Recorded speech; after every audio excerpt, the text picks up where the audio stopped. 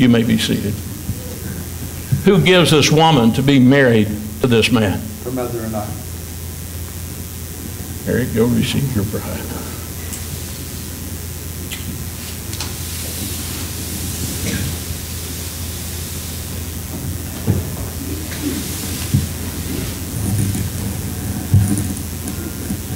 Eric, I want you to repeat after me.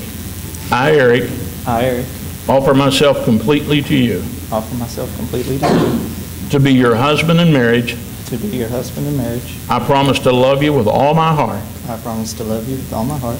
And to be true and faithful, and to be true and faithful, patient, patient, kind, kind, and unselfish in this love. and unselfish in this love. I promise to stand beside you always, I promise to stand beside you always. In times of joy, in times of joy, in times of trial, in times of trial, and in times of sorrow. and in times of sorrow.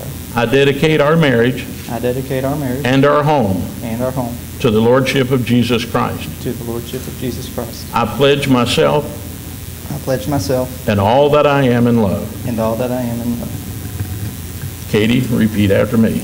I, Katie, I, Katie, offer myself completely to you, Eric, offer myself completely to you, Eric, to be your wife in marriage. to be your wife in marriage, I promise to love you with all my heart I promise to love you with all my heart, and to be true and faithful, and be true and faithful, patient, and patient, kind, and kind, unselfish in this love. unselfish in this love. I promise to stand beside you always, Promise to stand beside you always, in times of joy, in times of joy, in times of trial, in times of trial, in times of sorrow. in times of sorrow. I dedicate our marriage Dedicate our marriage and our home and our home to the Lordship of Jesus Christ. to the Lordship of Jesus Christ. I pledge myself Pledge myself and all that I am in love. and all that I am in love. May I have the rings?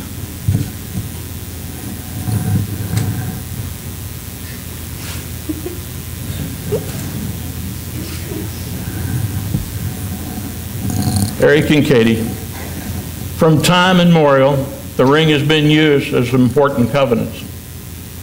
When the race was young and parliamentary government was not yet in existence, the reigning monarch would place a seal in a ring, and with that seal, he would authenticate the royal edicts. That seal became a sign or the only token of royal authority. Through the years, friends have exchanged a band of gold to prove evidence of friendship which is true and enduring. When you come to the marital altar, this ring takes on a special meaning, even more beautiful. Here it represents a love that, as the ring, it has no beginning or end, and it is made of gold. It signifies that there are no impurities in it. That is the pure and Christian love that God gives us. Father, I pray that as they wear these rings when they exchange them, that through the years they'll be reminded of these vows that they take as they pledge their love one to another before you. And may your blessings always be wrapped around them so they know that you have an unending love for them, just as their love is to be for each other. In Jesus' name, amen. Eric, will you take her ring and put it on her hand?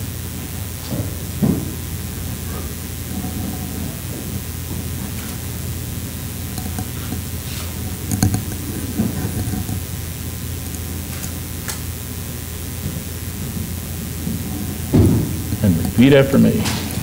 I give you this ring I give you this ring as a symbol of my love for you as a symbol of my love for you and make you my partner and make you my partner of the material goods of the material goods that God has given me that God has given and those which he might give me and those that which he might give me in the future. in the future.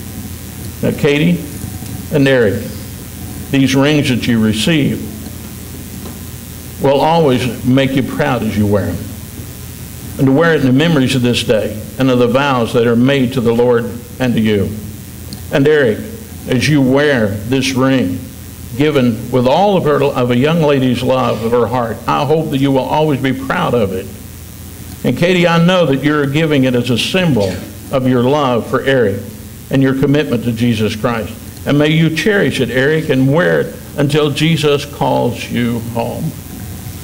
Katie, take his ring and place it upon his finger, and then repeat after me. With this ring, With this ring, I thee wed. I do wed. with all my worldly goods with all my worldly goods and all my heart's affection. and all my heart's affection. I thee endow. I thee endow. In the name of the Father, In the name of the Father, and the Son, and the Son, and the Holy Spirit. and the Holy Spirit. Amen. Amen. The two outside candles have been lit by your mothers, representing your lives to this moment. They are two distinct lights, each capable of going their own separate ways.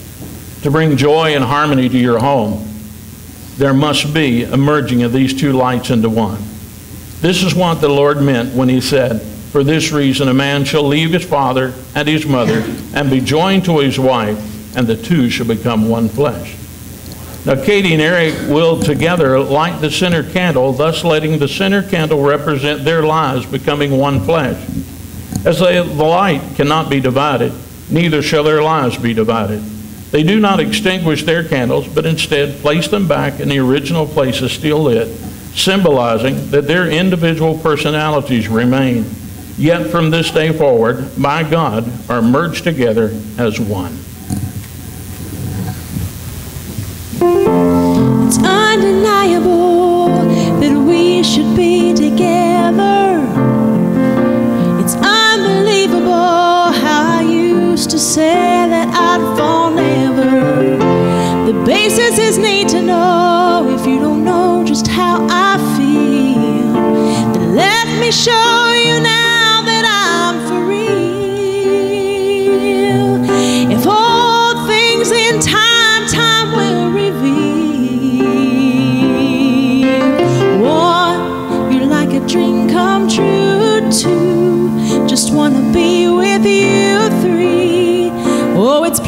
See that you're the only one for me. And four, repeat steps one through three. Five, make you fall in love with me.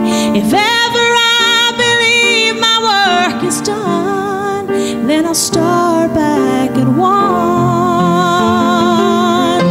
If ever I believe my work is done, then I'll start back at one. Let us pray. Our Heavenly Father, your love is always hovering over those that serve you and honor you. We thank you because Katie and Eric have decided to unite their lives in a service to you, asking for the prayers of their parents, the guidance of their pastors, and the support of their churches. I ask you, Father, to honor that request and this wish, that you give them victory in their lives, that everything they might try in your name might be successful, that it might be a successful according to your standards and not be measured by our ways. We ask, Father, that in the days of sadness you might be their comforter. In the days of happiness you will also be he who listens and rejoices within. And Father, let the words that have been said here and the feelings which have been expressed become a part of their lives, the lives of Katie and Eric from now and forevermore. In the name of Jesus Christ our Lord, amen. For as much as you, Eric, and you, Katie, have consented together in holy wedlock, have witnessed the same before God in this company by pledging your vows each to the other, you've declared it by giving of rings and by the joining of hands. It is my privilege to mount, pronounce that from this moment on, in the sight of heaven and earth, you are now husband and wife. And may God's grace and peace be forever upon you. Eric, you can kiss your bride. Now turn around and face your audience. On behalf of the Bodmer family and the Leffingwells and the Fellowship of Faith, I am happy to introduce to you for the first time Mr. and Mrs. Eric Bodmer.